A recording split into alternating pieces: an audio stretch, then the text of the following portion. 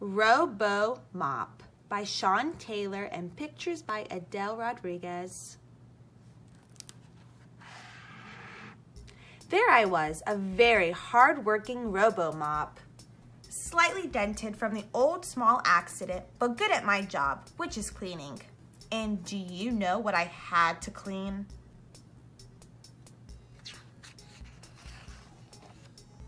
A bathroom in a basement.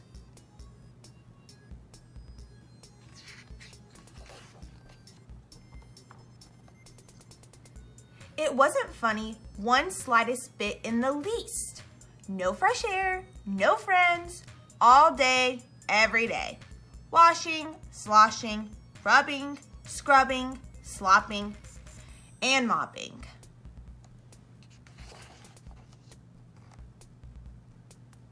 How would you feel about that? Well, I'll tell you how I felt.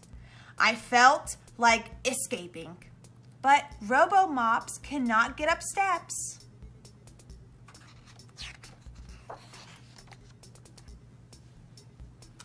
The inspector of public restrooms came every Friday to see how clean I was keeping things. So I tried a clever tactic.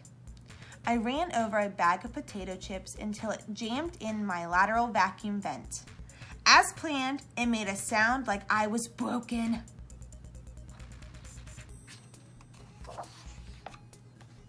Crinkly, crackly, creakly, crackly, crinkly, crackly, creak.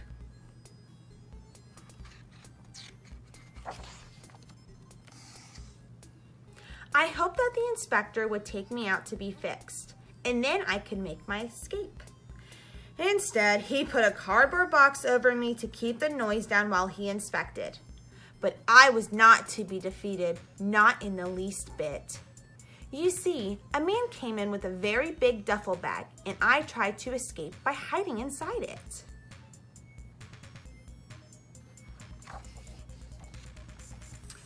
Unfortunately, he noticed. Then, once each month, the window cleaner cheerfully came to squeege and so forth the windows. He always brought his radio, which played a sort of honky-tonk music. If I sometimes did a small honky-tonk dance to the tunes, you should have heard how loudly he laughed. And once he said, You'd better stop doing that. My friend or someone will probably sell you to the circus.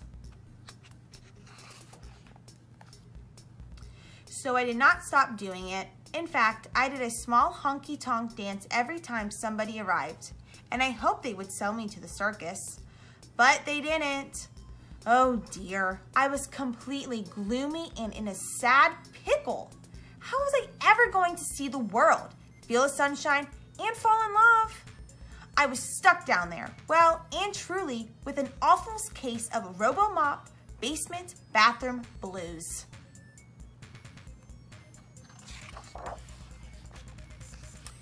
Then, one day, everything changed. To my greatest amazement, the inspector of public restrooms arrived and under his arm was a completely brand new biomorphic Bell-Bot cleanerette.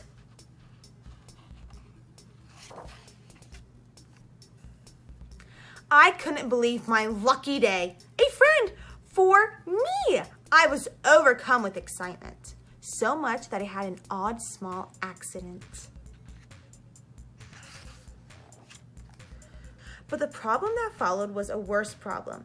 The inspector put down the biomorphic Bell-Bot cleanerette, and as soon as he could, he picked me up. He put me under his arm. He carried me up the steps.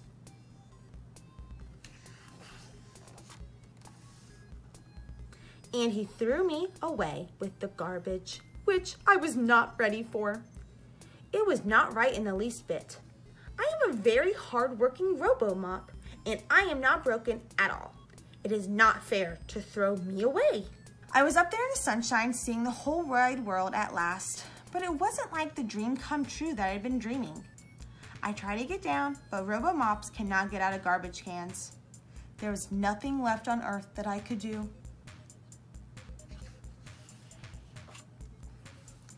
And what's more, the window cleaner cheerfully arrived.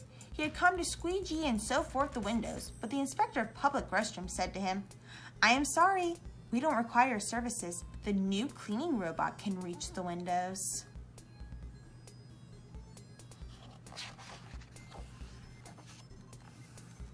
That was that. I looked at the window cleaner. He looked at me. We were stuck there. Well and truly, with an awful case of window cleaner and robo mop lost job blues. So it was a surprise when he cheerfully picked me up and carried me off down the street. I thought he would probably sell me to the circus. But no. He took me to his home, and I think it is quite a good one. The window cleaner has a family with one mother, two girls, two boys, and one dog. All of them seem to like honky-tonk music, so the radio is often playing which makes my job very much easier, I think.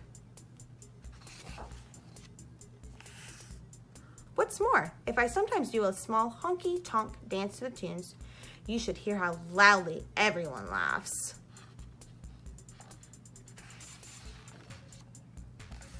And you know what? I think I'm falling in love with the vacuum cleaner.